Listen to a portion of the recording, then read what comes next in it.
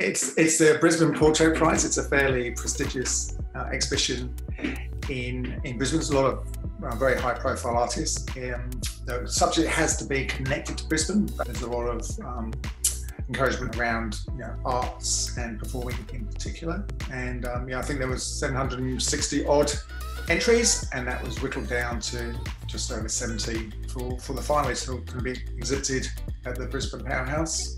I had a dream uh, one night, and I woke up and remembered it.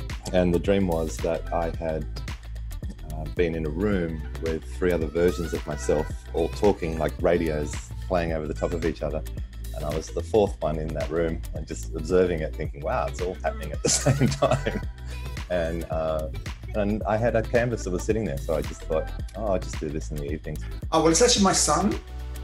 Now, my son studied um, creative industries at Queensland University of Technology, and since then he's been building a career as a producer, director, and writer, particularly in theatre. Though his real passion is movies. Um, he actually commissioned me to do it, so it was quite interesting being commissioned by your own son. Um, and it was he came up with the original concept, and we kind of we kind of brainstormed it. And it was actually based on there's a famous ad from the 1980s that kind of stuck in my head from Maxell video um, cassette tapes.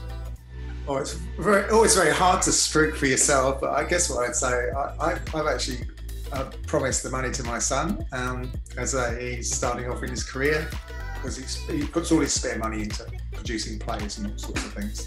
Mm, well, I'm just a selfish pig um, because it's about me and I'm keeping the money. Like I just think it's it's a beautiful thing to be able to, to, to use your creativity outside of work as well. Maintaining your, your own personal or professional practice is so important. And I also say, you know, from a student perspective, employers love to see your personal work, you know, what, what inspires you. So the Brisbane Portrait Prize, the 30th of September to the 1st of November in Brisbane Powerhouse. Vote for Richard. No, I mean, for me. Vote for both of us.